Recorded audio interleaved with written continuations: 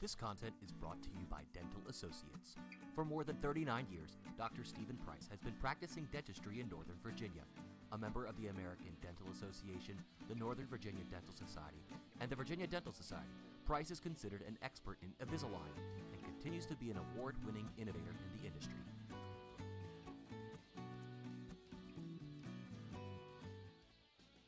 Hey everybody, Nick, you are here to give you a micro recap of the boys uh, VISAA boys basketball tournament.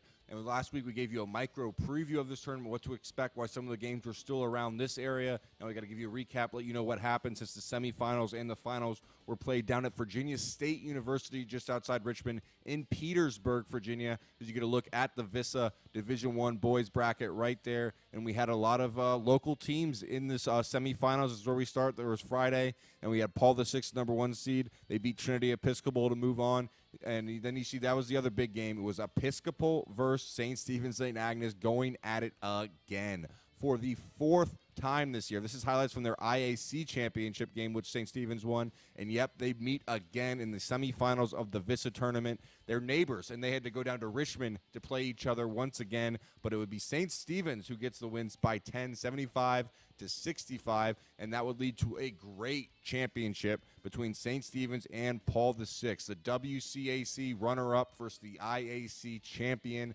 I, uh, St. Stephen's Agnes really wanted to win this one, proved that, that they are one of the best teams in the area, regardless of conference. The Saints' only two losses to area teams this year have been from DeMatha and Gonzaga, two WCAC AC teams, but it would be PVI who would prevail. Jeremy Roach, Trevor Keels, just too much firepower for Paul the Six, and they would win 67-59 over St. Stephen's in St. Agnes, and Paul the Six wins their second straight uh, VISAA back-to-back state uh, championship. It's become a, few, a bit of a habit for Paul the Six to go down and win this tournament, but obviously they didn't get uh, what they wanted in the WCAC. Fell up just short, but this is still a nice prize, a nice tournament to win, beating two very quality schools, Trinity Episcopal in the semifinals, and then, of course, St. Stephen's and St. Agnes in the finals. And that's going to wrap for the boys basketball recap of the VISAA State tournament. If you want to see a girls basketball update of the VISAA tournament as well, stay right here at dmvstream.com.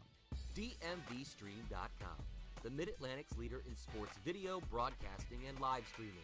Contact us today to learn more about our services and streaming packages. Visit us on the web at dmvstream.com. That's dmvstream.com.